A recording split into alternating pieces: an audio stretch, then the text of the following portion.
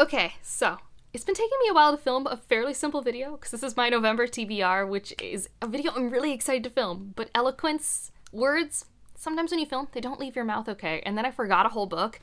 So so we're here again. We're gonna film it. There's a cat in the room. He's he talks today. He has a lot of thoughts. So if you hear him, just nod your head and go, You're right, Putao. You're right. But we're going to get into it. It's the second to last TBR of the year. I am really excited.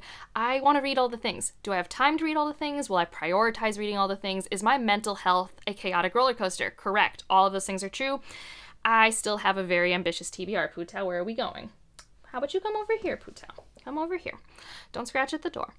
If I let him out of the room, he's just going to yell from out there. Yeah, I, there's just no pleasing you. Anyways, um, so we're first going to go through my obligations, and then we're going to go through my anticipated releases, and then there's the Skoden Readathon, which I have a whole stack of books I'm excited to pull from for that, and I have a reading project to talk to you guys about. So I have a lot of things I want to get to, and will it happen? Who knows? There's a wide variety of genres, though, and I always do really well when I do that, and there's a wide variety of page lengths, and we'll see, we'll see. I'm going in with optimistic, excited energy because my favorite thing to do is to plan my life when my life is in chaos, which we are in right now. So, obligation reads. For my local book club, I have Boy, Snow, Bird. This is by Helen Oyeyemi, and I read The Icarus Girl earlier this year. If you want to see my thoughts, that's in a September wrap up, and I really liked this author, so I wanted to read something else, and she's perfect for my local book club. And this one kind of gave me November autumnal vibes, where we have like loose Snow White retelling inspiration and it's a literary contemporary in Massachusetts following this family as it goes through revelations. That's all I know. I loved this author's writing and I loved their debut, so I want to try out more. That's right, Putao. I'm going to try out more. Uh, another book that I'm reading for obligations is Semiosis. This is the patron buddy read. It became a joke that I just kept throwing it on polls until it won, which is true. I, I have my own agendas once in a while. But we're all pretty excited to read it. I just like following weird alien species sometimes, and I think that is what this book is going to deliver. Another obligation for a book club, and I'm very excited because this is Tammy's um, first edition in the new series, like the revamping of the Chinese literature book club. I don't know if that's the name of it, but I'll link her announcement video down below. And we are reading Strange Beasts of China. I'm pretty sure that's the name. I don't know what it's about, which is funny because Tammy gave me a whole list of books to choose from, or said I was thinking of reading this one. And I said, yeah, sure, because that's who I am with book clubs. I'll read anything. like, if you tell me, hey, there's a book club, you want to read this book? Well, I've gotten better at not doing too many book clubs at once, but I'm, yeah, I don't, I'll just read the book.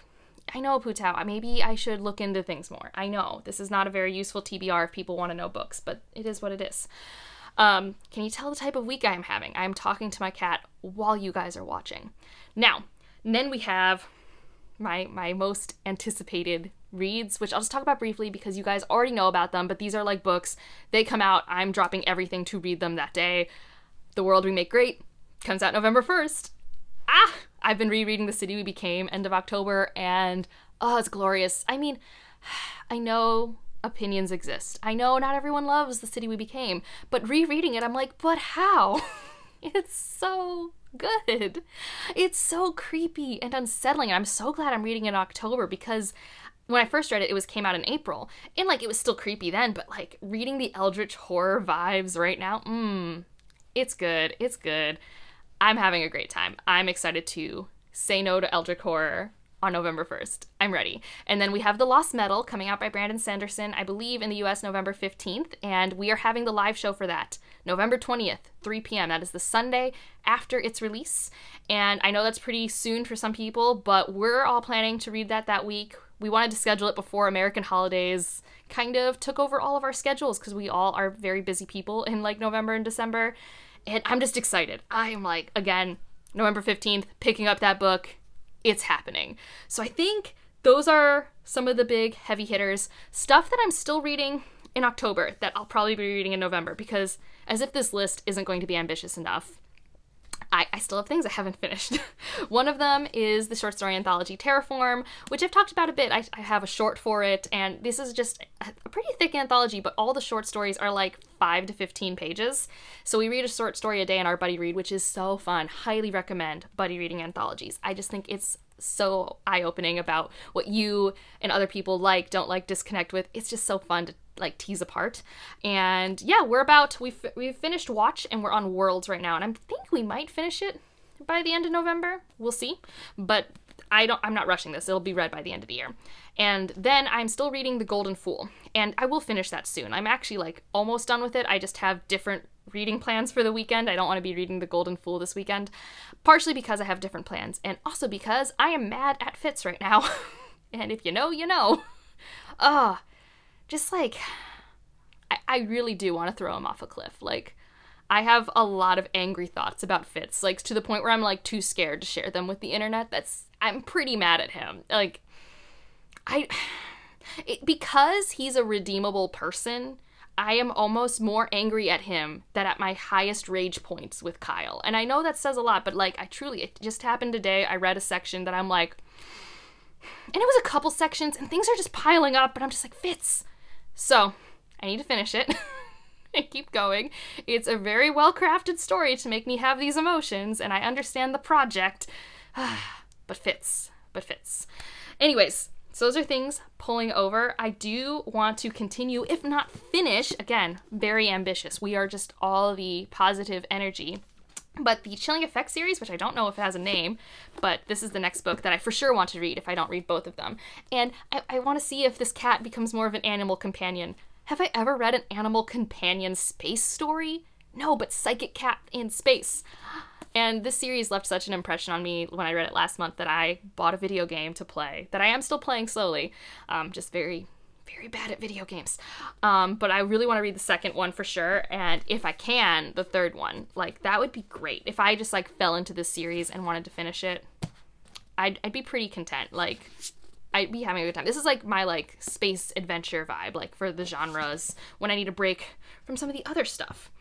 And now we're gonna get into my pile of possibilities for the Skoden Readathon, which my favorite challenge that was added for this. I'm gonna have the announcement video down below. Was you need to read Indigenous works for seven days straight. That's like the middle spot on the bingo board.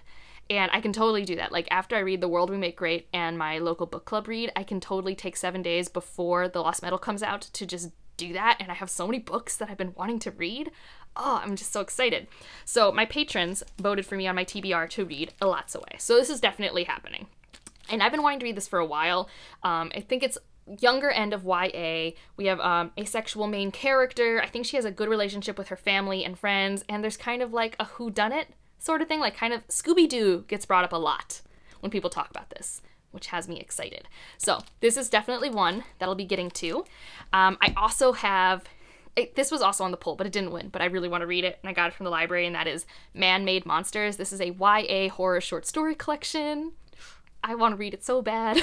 I am really hoping I love it. I know Bethany really enjoyed it when she read it recently, and I'm just hoping to have the same good time. I love short story horror. Like, I think that's maybe my favorite subgenre in short stories. Like, I think that might be it yeah, Putao, I think it might be it. So that one's definitely one I really want to prioritize. There's a bunch of other squares, and so I have things on my Kindle and around me that I may pull from. So Mapping the Interior by Stephen Graham Jones. I read Mongrels earlier this year, and I would love to read another work by him. This is a novella, so maybe I can like squeeze it in. I don't know what it's about. I just assume it's horror or horror adjacent. And then also, I have more horror. I have Taaqtumi. I don't know if I'm saying that right, but this is an Arctic indigenous anthology of horror stories. It's less than 200 pages.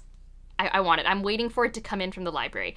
I've been on a short story kick. I don't know if you guys know this, but I've just been really enjoying reading short stories lately. Like I always do, but lately it's just really been hitting the spot for me.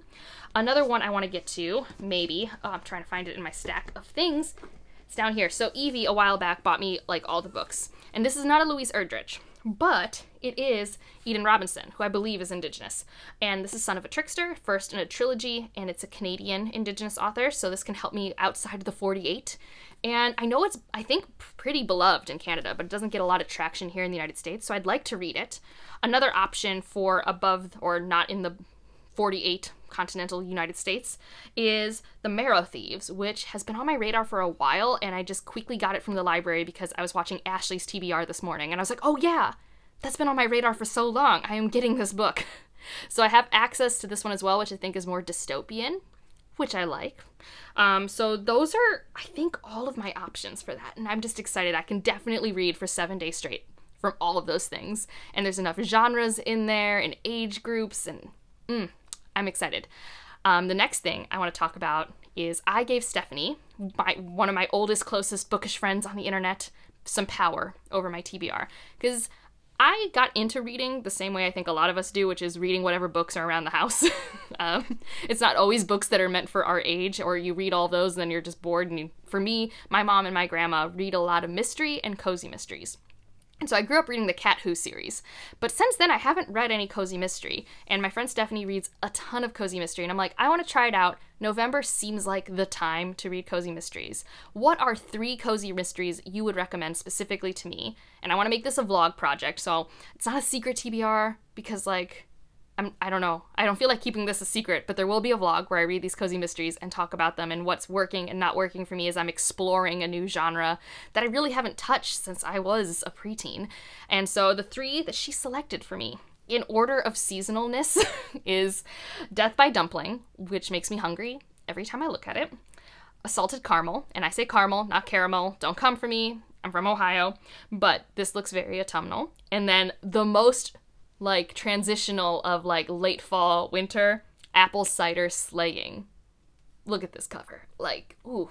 So I'm hopeful. I'm really hopeful one, if not all of them, will I don't know, bring me a reading experience that I haven't had in a long time, maybe bring me some nostalgia.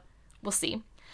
And you know, if this whole list of things wasn't enough, I have one other book I just want to mention because I might get to it, um, especially because this is the time of year where I am usually drawn to romances, and this is one that a lot of people have been liking, and that is Half a Soul. I don't know if I'll love it as much as everyone else, but I do like Bridgerton, which was Regency romance, and people have been comping it a tiny bit to that, not like, you know, the sexy times and stuff like that, but I don't necessarily need that in my romance and books and I, am hopeful. I'm hopeful. Like, I want to be on the hype train for that series. I really do. So, I have it on my Kindle. Will it happen? I don't know, but this is the time of year where I can really be feeling that, or I just fall into ACOMAF, which I don't think will happen this year. but that's traditionally what happens this time of year.